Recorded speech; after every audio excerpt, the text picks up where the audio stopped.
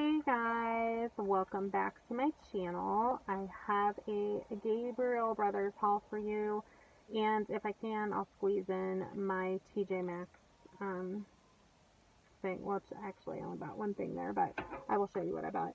Um, so Gabriel Brothers, I got this pan, piece of pan for $5.99. I don't have a piece of pan. And I got my husband this stainless steel coffee cup and it was $7.99 and it's 24 ounces so. Um, also found this four-piece twin sheet set and it says the pillowcase is included and it was only $10.99 so see that. And that's for my kids. Also found this Dove deodorant for $2.79 which is a great buy. Um, I don't see the ounces on there, but I love this stuff. And this is grapefruit and lemongrass scent. So that was different. And then I got my husband a Carhartt um, short, no, yeah, short sleeve shirt.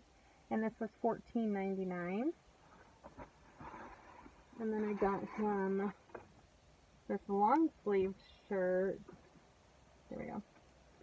And this was $14.99 also.